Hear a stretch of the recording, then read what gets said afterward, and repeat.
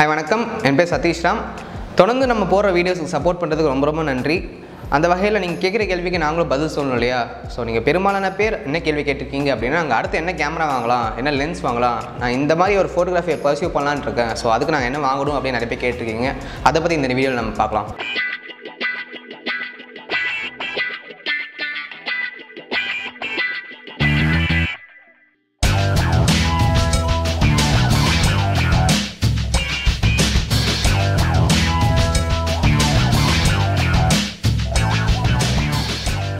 So இதை பற்றி நான் டீட்டெயிலாக பேசுகிறதுக்கு முன்னாடி நான் கண்டிப்பாக சொல்லி ஆகணும். ஸோ கேனன் தான் பெருசு நிக்கான் தான் பெருசு சோனி தான் பெருசு அப்படி எதுவும் இல்லை.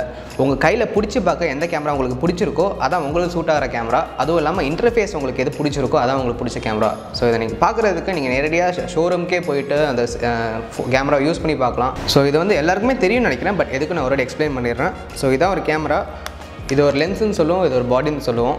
ஸோ நம்ம என்ன லென்ஸ் வாங்க போகிறோம் அப்படியே முடிவு பண்ணுறதுக்கு ரெண்டு தான் இருக்குது ஸோ இதில் ரெட் டாட் இருக்குது ஒயிட் டாட் இருக்கு இல்லையா? ஸோ இந்த கேமரா பொறுத்த வரைக்கும் இந்த பாடி பொறுத்த வரைக்கும் இல்லை ரெட் இங்கே ஒயிட் இருக்க லென்ஸும் வாங்கலாம் இந்த இடத்துல ரெட் இருக்க லென்ஸும் வாங்கலாம். ஸோ சில கேமராவில் இங்கே ரெட் மட்டும் தான் இருக்கும். அதெல்லாம் ஃபுல் ஃப்ரேம் சென்சார்னு சொல்லுவாங்க. ஸோ அந்த மாதிரி கேமராஸில் இந்த இடத்துல ரெட் இருக்கிற லென்சஸ் மட்டும் அது செட் ஆகும். ஸோ அது மாதிரி நீங்கள் பார்த்து வாங்கணும். ஸோ லென்சஸ் வாங்குற பொறுத்த வரைக்கும் நீங்கள் இதை மட்டும் பார்த்தா போதும்.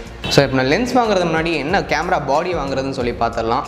ஸோ கேமரா பாடி வாங்குற பொறுத்த வரைக்கும் நமக்கு ரெண்டு தான் டிசைனிங் ஃபேக்டர்ஸாக இருக்கணும். ஸோ நீங்கள் க்ராப்டு சென்சார் வாங்கணுமா? க்ராப்டு சென்சார் வச்ச ஒரு பாடி வாங்கணுமா? இல்லைனா ஒரு ஃபுல் ஃப்ரேம் பாடி வாங்கணுமான்னு சொல்லிட்டு. ஃபுல் ஃப்ரேமுக்கும் க்ராப்டுக்கும் ஒரே டிஃப்ரென்ஸ் தாங்க. அது சென்சார் சைஸ் மட்டும் தான் ஃபார் எக்ஸாம்பிள் இப்போ ஃபுல் ஃப்ரேம் சென்சார் வந்து தேர்ட்டி ஃபைவ் எம்எம் சென்சார்னு சொல்லுவாங்க.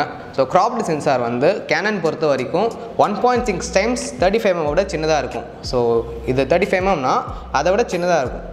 ஓகே ஸோ இதுதான் இது ரெண்டுத்துக்கும் பேசிக்கான டிஃப்ரென்ஸ் இன்னொரு முக்கியமான பெரிய டிஃப்ரென்ஸ் நமக்கு ரொம்ப யூஸ்ஃபுல்லான டிஃப்ரென்ஸும் வந்து காஸ்ட் டிஃப்ரென்ஸ் தான். ஸோ ஃபுல் ஃப்ரேம் பாடிஸ் ரொம்ப கொஞ்சம் ப்ரைஸியாக இருக்கும். For example five D mark three five D mark four அதே மாதிரி இந்த மாதிரி சிக்ஸ் ஹண்ட்ரட் டி இல்லை செவன் ஹண்ட்ரட் டி அதெல்லாம் கொஞ்சம் கம்மியாக இருக்கும். ஏன்னா அதெல்லாம் க்ராப் சென்சர்ஸ் ஸோ நீங்கள் கேமரா பாடி வாங்குறதுக்கு முன்னாடி தெரிஞ்சிக்க வேண்டிய முக்கியமான விஷயம் ஸோ டவுன் தி லைன் ஒரு டூ இயர்ஸோ இல்லை ஒன் அண்ட் ஆஃப் இயர்ஸ்க்கு அப்புறமோ நீங்கள் ஃபோட்டோகிராஃபியை இன்னமும் ஹாபியாக பண்ண போகிறீங்களா இல்லை அதுக்கப்புறம் ஒரு பிஸ்னஸாக பண்ண போகிறீங்களா அப்படி தெரிஞ்சுக்கிறது ரொம்ப முக்கியமான விஷயம். ஏன்னா நீங்கள் பிஸ்னஸாக பண்ண போகிறீங்க அப்படின்னா நீங்கள் இப்போயோ இன்வெஸ்ட் பண்ணி ஒரு நல்ல ஃபுல் ஃப்ரேம் வாங்குறது ரொம்ப ரொம்ப நல்லது. ஸோ ஏன்னா ஒரு two years down the line நீங்கள் பிஸ்னஸாக பண்ணும்போது கண்டிப்பாக நம்ம குவாலிட்டியில் காம்ப்ரமைஸ் பண்ண முடியாது இல்லையா? ஸோ அதனால் இப்போயே பண்ணிக்கலாம். நீங்கள் டூ இயர்ஸ்க்கு அப்புறம் maybe one and half years அப்போயும் நீங்கள் ஃபோட்டோகிராஃபியை ஹாபியாக தான் பர்சீவ் பண்ண போகிறீங்க அப்படின்னா இவ்வளோ பெரிய இன்வெஸ்ட்மெண்ட் பண்ண தேவையில்லை இப்போதைக்கு. ஸோ நீங்கள் இந்த மாதிரி பேசிக் கேமராவை பார்த்துக்கலாம். ஸோ அப்படி இல்லை நீங்கள் ஒரு ஃபோட்டோகிராஃபி எந்தூசியஸ்ட்டாக இருக்கீங்க. உங்களுக்கு ப்ரைஸ் ஒரு மேட்டர் இல்லை அப்படின்னா நீங்கள் இப்போ கூட நல்ல கேமரா ஃபுல் ஃபுல் ஃப்ரேம் சென்சர்லாம் நீங்கள் இன்வெஸ்ட் பண்ணலாம். ஸோ இப்போ நம்ம கேமரா பாடி வாங்குறத பற்றி பார்த்தோம். இப்போ என்ன லென்ஸ் வாங்கலாம்னு சொல்லிட்டு பார்க்கலாம். நம்ம என்ன பாடி வாங்கினாலுமே அது கூட வந்து கிட் லென்ஸ் சொல்லிட்டு ஒரு லென்ஸ் வைப்பாங்க. அது என்ன கேமரா பாடிக்குள்ளே விற்கிறாங்களே அது நல்ல லென்ஸாக இருக்காது நம்ம நினைக்கக்கூடாது அது ரொம்ப ரொம்ப நல்ல லென்ஸாக இருக்கும். ஏன் அப்படி சொல்கிறேன் அதில் ரேஞ்ச் இருக்கும். ஸோ பக்கத்தில் எடுக்கிறதுக்குலாம் தூ ஜூம் பண்ணி தூரமாக இருக்கும் சேர்த்து எடுக்கலாம். ஸோ அதெல்லாம் நம்ம நிறையா கற்றுக்க முடியும். ஸோ அதனால் கிட் லென்ஸ் வாங்குறது ரொம்ப ரொம்ப முக்கியம். லென்சஸ்லேயே நிறைய வகை இருக்குது so for example tilt shift lenses macro lenses fisheye lenses நிறையா இருக்குது பட் நம்ம பேசிக்காக பார்த்தோன்னா அது ரெண்டே ரெண்டு வகையில் பிடிச்சிடலாம் ஒன்று வந்து ஜூம் லென்ஸு இன்னொன்று வந்து பிளாக் லென்ஸ் இல்லை ப்ரைம் லென்ஸ்னு சொல்லுவாங்க. அதில் ஜூம் இருக்காது நம்ம அப்பச்சர் மட்டும் கண்ட்ரோல் பண்ணுற மாதிரி இருக்கும். ஸோ இதில் ரெண்டில் எந்த லென்ஸ் பார்க்கணும்னு சொல்லிக்கலாம். இன்னொன்று அந்த பிளாக் லென்ஸ் ப்ரைம் லென்ஸ் வந்து போர்ட்ரேட் ஃபோட்டோகிராஃபி ரொம்ப ரொம்ப யூஸ்ஃபுல்லாக இருக்கும். ஸோ போர்ட்ரேட் ஃபோட்டோகிராஃபியை பொறுத்த வரைக்கும் நமக்கு தேவையான முக்கியமான விஷயம் ஒரு ப்ரைம் லென்ஸோ ஒரு பிளாக் லென்ஸோ நான் எதுக்கு இப்படி சொல்கிறேன் அப்படின்னா போர்ட்ரேட் ஃபோட்டோகிராஃபியோட முக்கியமான கான்செப்ட் என்ன நமக்கு தேவை அப்படின்னா ஒரு சப்ஜெக்ட்டை ஃபோர்க்ரவுண்டும் பேக்ரவுண்டும் டிஃப்ரென்ஸ் அதிகப்படுத்தி காமிக்கிறது தான் நிறைய பிளர் பண்ணி காமிக்கிறது பேசிக்காக சொல்லலாம். ஸோ அப்படி பண்ணுறதுக்கு நமக்கு தேவையானது ரொம்ப கம்மியான அப்பர்ச்சர் வேல்யூ அப்படி பண்ணுறதுக்கு தான் நம்ம ப்ரைம் லென்ஸ் உள்ள வருது. ஸோ இது மாதிரி என்ன லென்ஸ்லாம் இருக்குன்னா ஃபிஃப்டி எம்எம் லென்சஸ் இருக்குது eighty five mm hundred mm one thirty five mm லென்சஸ்லாம் இருக்குது ஸோ இதை விட நீங்கள் நிறைய இன்வெஸ்ட் பண்ணணும்னு நினச்சிங்கன்னா செவன்ட்டி டூ ஹண்ட்ரட் லென்ஸ்னு ஒன்று இருக்குது அதுவும் ரொம்ப பாப்புலரான போர்ட்ரேட் லென்ஸ் இதுலேயே வந்து நான் சொன்னாலே fifty mm eighty five mm one thirty five mm சொல்லிட்டு. இதுலேயே நிறைய அப்பர்ச்சர் வேல்யூஸ் இருக்குது for example fifty mm one point eight four one point four one point two eighty ஃபைவ்லேயும் அதே மாதிரி ஒன் பாயிண்ட் டூலாம் இருக்குது ஒன் பாயிண்ட் எயிட்லாம் இருக்குது ஸோ உங்களுக்கு தேவையான உங்கள் பட்ஜெட் பொறுத்தும் உங்களுக்கு தேவையான ஸ்டைல் ஆஃப் ஃபோட்டோகிராஃபி பொறுத்தும் நீங்கள் ஃபஸ்ட்டே சூஸ் பண்ணிக்கலாம் லென்ஸ் இதை நான் கண்டிப்பாக சொல்லி ஆகணும். நான் உங்களுக்கு கிட் லென்ஸ் எவ்வளோ இம்பார்ட்டன்ட் சொன்னேன் இல்லையா? அதே அளவு important lens fifty mm one point eight lens இது எதுக்குன்னா அந்த லென்ஸோட cost seven thousand five hundred அரௌண்டாக இருக்கும்.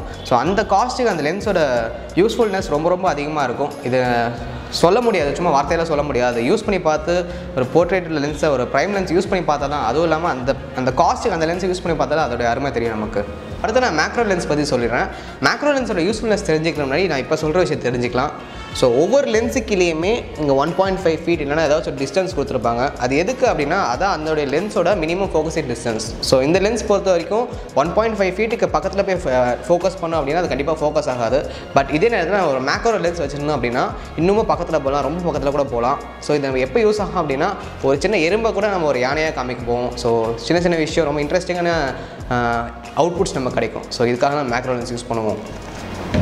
ஜென்ரலாக வந்து மேக்ரோ லென்ஸ் பார்த்தீங்கன்னா கொஞ்சம் ப்ரைஸியாக இருக்க சான்சஸ் இருக்குது ஸோ நீங்கள் அந்த ப்ரைஸ் நீங்கள் ஸ்பெண்ட் பண்ண விரும்பலை அப்படின்னா இதுக்கு ரொம்ப ஈஸியான ஒரு ஹேக் இருக்குது அது என்ன அப்படின்னா இதுக்கு நம்ம லென்ஸை இப்படி மாற்றி இப்படி திருப்பி வச்சு எடுக்கலாம் ஈஸியாக பட் இதுக்கு கனெக்டர் தேவை இல்லையா அதுக்கு பேர் மேக்ரோ ரிங்குன்னு சொல்லுவாங்க. மேக்ரோ ரிவர்சல் ரிங்குன்னு அது வந்து நீங்கள் கிடைக்கும் இல்லை நம்ம சென்னையில் இருக்க எல்இஸ் ஸ்டோர்லேயே கிடைக்கும். Approx two thousand five hundred three thousand அந்த மாதிரி ஆகும். ஸோ நீங்கள் மாட்டிட்டீங்கன்னா இந்த லென்ஸ் இந்த செட்டப் வந்து ஒரு மேக்ரோ செட்டப்பாக மாறிடும். ஸோ இதை வச்சு நீங்கள் பக்கத்தில் போகலாம்.